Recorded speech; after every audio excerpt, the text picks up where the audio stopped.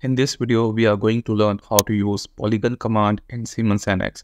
So let's start. First of all, we have to go to the ribbon. In the ribbon, you can see we have a curve section, then go to more and then go to polygon. Now, this command is going to create the polygon and the limit is that you can draw the polygon with minimum number of sides as 3 and maximum number of sides as 513. Let's check it out for once. I'm going to put the value as 800. Now you can see here comes an alert. It states that number of sides must be between 3 and 513. So this is the range of making the polygon in the NX. Now I'm going to give the number of sides as 6. Now here are some points which we have to keep in mind while making the polygon. First of all, it will ask you for the center point. We have to mention the center point. Then after that, we have to mention the number of sides that how many sides we want to have in the polygon. Later on, we have the size. In size, we have to specify the point for the sides. And later on, we have three options in the sizes, which are inscribed, circumscribed, and side length. We will learn about all these three one by one and I'll mention the text as well so that there would be no confusion left regarding these three options. Later on, we have the radius and the rotation, like what is the value we want to give to the radius and along with that, what is the value we want to give to the rotation. And at last, we have the option of create persistent relation. We will also learn about this. Now, first of all, I'm going to make a polygon with number of sides as 6 and uh, I'm going to lock this radius with the option of inscribed radius and we will also learn that what is meant by inscribed okay now i'm going to give the radius as 200 with locking the radius.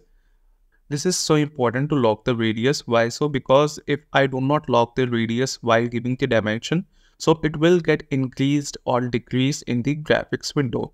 And the rotation we will check the rotation later on. So i'm going to give the center like here and it will ask me for the rotation as the radius is already locked. If i just untick this option now you can see I can increase or decrease. That's why docking is important. So I'm going to keep the value as 200 and it will ask me for the rotation. So I'm going to give the rotation as 203 like this and close this. Now you can see we got the angle here like this. So this is how we can have the polygon. Now I'm going to make the polygon again with some proper alignment. So the number of sides are going to be 6, okay? And I'm going to activate this option, create persistent relation. And later on, the radius is going to be as 200 and this is going to be as 275. This is going to be as horizontal.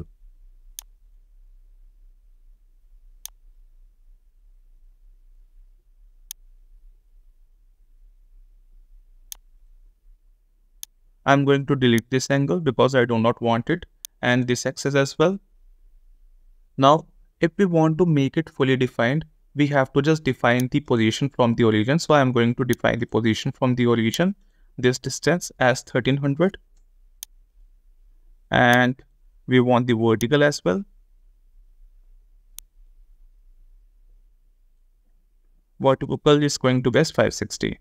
Now you can see the sketch is fully defined. Now the question may arise here that what is meant by inscribed because we have chosen the option of inscribed in the polygon. Like here, inscribed the radius is 200.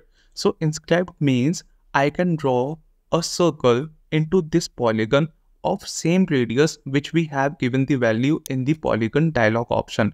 Like if I just go to the polygon dialog option and the radius was of 200 mm with the inscribed option. So let's check just go to the circle and here I'm going to pick this point and the dia is going to be as 400 because dia equals to 2r. Now I'm going to convert this to radius, so convert to radius.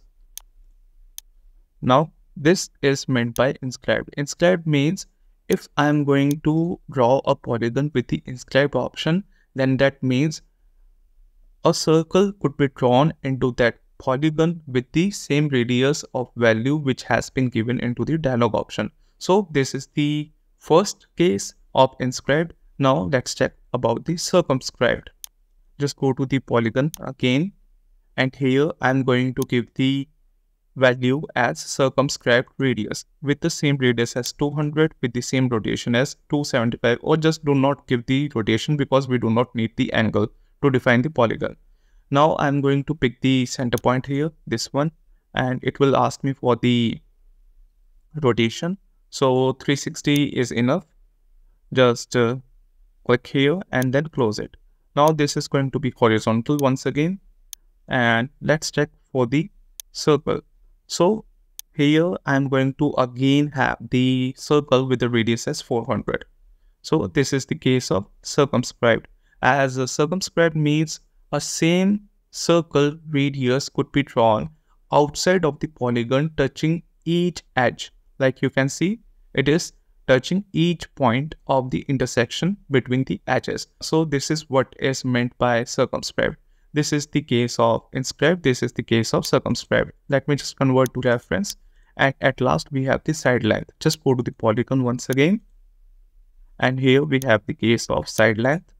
And the number of sides are going to be 6. We have to just give the center point and the side point. So this is the center. And this is the second point. And here you can see in the dialog option, the value has been changed like earlier it was asking for the radius but now it is asking for the length so here i'm going to keep the length as 250 now just click on the graphics window like this for giving the point now here comes the side length which is 250 so we have covered all three types of polygon the very first one is inscribed circumscribed and the side length now we will learn about the persistent relation like what is the difference between activating that option and not activating that option. Just go to the polygon and here side length is okay with the, okay, I'm going to change it to inscribed radius. Okay.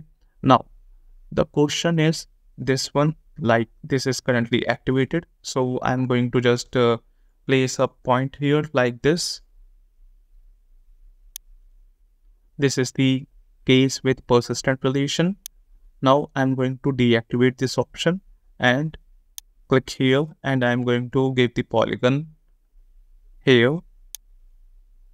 This is without activating the persistent relation. I will mention in the text for the ease of understanding. Now, this side length is going to be as uh, 230. Now we will check this side length as well. This is 230. Okay, now the alert is coming. It states that this dimension cannot be edited. It may be overdefined the sketch if this dimension conflicts with other dimension or persistent relation because we have a persistent relation here. That means these sides are going to be equal of this polygon. So I'm going to cancel that. Okay, I am unable to edit this. Let's come to the polygon with deactivated option of persistent relation. Like if I just click here, and give the dimension as 250. Now you can see some of the relation has been broken. Now just check this length. This is 304.3. Why so? Because we have deactivated the option of persistent relation. However, in the case of persistent relation, all the sides are equal. So this is the difference between activation and deactivation of the persistent relation. So let's have a quick recap of this video. So the very first one, we have learned about the range of the polygon, which lies between 3 to 513. And uh, later on, we have understood the all three types of polygon. Very first one is inscribed, then we have circumscribed, then we have the side length. And after that, we have also understood the difference between the activation and deactivation of the persistent relation. Here is the example. This is with the persistent relation and this is without the persistent relation. So this is all in this video. I hope you have enjoyed the learnings of the polygon command in the Siemens NX. Please do like and share this video and don't forget to subscribe our channel. Thank you.